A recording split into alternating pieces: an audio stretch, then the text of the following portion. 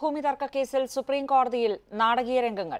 ഹിന്ദു മഹാസഭ നൽകിയ രേഖകൾ സുന്നി വഖഫ് ബോർഡ് അഭിഭാഷകൻ രാജീവ് ധവാൻ കോടതിയിൽ വലിച്ചുകയറി ഇതിനിടെ അയോധ്യ തർക്കത്തിലെ മധ്യസ്ഥ ചർച്ചകൾ വിജയകരമെന്ന് സുപ്രീം കോടതി നിയോഗിച്ച മധ്യസ്ഥ സമിതി ഇന്ന് അറിയിച്ചു. പി ആർ സുനിലാണ് വിശദവിവരങ്ങളുമായി ചേരുന്നത്. സുനിൽ ഇന്ന് വാദം കേൾക്കൽ അവസാന ദിവസമാണ്.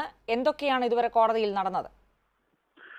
രജനി അയോധ്യ കേസിൽ രജനി ചൂണ്ടിക്കാണിച്ചതുപോലെ തന്നെ ഇന്ന് വാദം കേൾക്കൽ അവസാനിക്കുകയാണ്. നാൽപ്പതാമത്തെ ദിവസമാണ്. നാൽപ്പത് ദിവസം തുടർച്ചയായാണ് അയോധ്യ കേസിൽ ചീഫ് ജസ്റ്റിസ് രഞ്ജൻ ഗൊഗോയ് അധ്യക്ഷനായ അഞ്ചംഗ ഭരണഘടനാ ബെഞ്ച് വാദം കേട്ടത്. എന്തായാലും ഇന്ന് കേസ് വിധി പറയാൻ മാറ്റിവെക്കും. എന്തായാലും അവസാന ദിവസം വാദം കേൾക്കുന്നതിനിടെ നാടകീയ രംഗങ്ങൾ തന്നെയാണ് ഒന്നാം നമ്പർ കോടതി മുറിയിൽ അരങ്ങേറിയത്. ഇന്ന് ആ കേസിൽ ഹിന്ദു മഹാസഭയ്ക്ക് വേണ്ടി ഹാജരായ മുതിർന്ന അഭിഭാഷകൻ രാമന്റെ ജന്മഭൂമി ഏതാണ് എന്ന് വ്യക്തമാക്കുന്ന ഒരു പൗരാണിക മാപ്പ് തനിക്ക് കൈമാറാനുണ്ടെന്ന് ചീഫ് ജസ്റ്റിസ് രഞ്ജൻ ഗൊഗോയെ അറിയിച്ചു. അങ്ങനെ ഒരു മാപ്പ് ജഡ്ജിമാർക്ക് ഹിന്ദു മഹാസഭയുടെ അഭിഭാഷകൻ കൈമാറി. എന്നാൽ ഇത്തരം രേഖകൾക്ക് ഒരു വിലയുമില്ല എന്നും ഇത്തരം രേഖകൾ സ്വീകരിക്കരുത് എന്നും സുന്നി വഖഫ് ബോർഡിന്റെ അഭിഭാഷകൻ രാജീവ് ധവാൻ ചൂണ്ടിക്കാണിച്ചു. ഇത്തരം രേഖകൾ കീറിക്കളയേണ്ടതാണെന്നും സുന്നി വഖഫ് ബോർഡിന്റെ അഭിഭാഷകൻ കോടതിയിൽ പറഞ്ഞു. അങ്ങനെയാണ് സുന്നി വഖഫ് ബോർഡിനെ തോന്നുന്നതെങ്കിൽ അത് ചെയ്യാം എന്ന് ചീഫ് ജസ്റ്റിസ് രഞ്ജൻ ഗൊഗോയ് പറഞ്ഞു. അതിനെ തൊട്ട് പിന്നാലെ സുന്നി വഖഫ് ബോർഡിന്റെ അഭിഭാഷകനായ രാജീവ് ധവാൻ ഹിന്ദു മഹാസഭ കൈമാറിയ മാപ്പ് കോടതി മുറിക്കകത്ത് വെച്ച് തന്നെ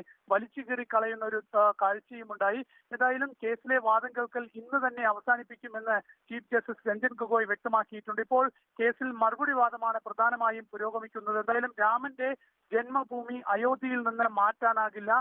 മുസ്ലിങ്ങൾക്ക് ആരാധന നടത്താൻ മറ്റ് സ്ഥലങ്ങൾ ഉണ്ട് എന്നാണ് പ്രധാനമായും ഹിന്ദു സംഘടനകൾ കോടതിക്ക് മുൻപാകെ വാദിക്കുന്നു. ഇതിനിടെ അയോധ്യ പ്രശ്നം മധ്യസ്ഥ ശ്രമങ്ങളിലൂടെ പരിഹരിക്കാൻ ഒരു മൂന്നംഗ സമിതിക്ക് നേരത്തെ സുപ്രീം കോടതി രൂപം നൽകിയിരുന്നു. ജസ്റ്റിസ് ഖലീഫുള്ള അധ്യക്ഷനായ മൂന്നംഗ സമിതി. ഈ സമിതിയുടെ ചർച്ചകൾ പരാജയപ്പെട്ട ഒരു സാഹചര്യത്തിലാണ് കേസിൽ വിശദമായി വാദം കേൾക്കാൻ സുപ്രീം കോടതി തീരുമാനിച്ചത്. പക്ഷേ ഇപ്പോൾ ഈ സമിതി മധ്യസ്ഥ ചർച്ചകൾ വിജയകരമാണെന്ന് കോടതിയെ അറിയിക്കാൻ തീരുമാനിച്ചിട്ടുണ്ട്. അത് കോടതി ഇനി സ്വീകരിക്കുമോ എന്ന് കാത്തിരുന്ന് കാണണം. പി ആർ സുനിലാണ് വിശദവിവരങ്ങൾ നൽകിയത്.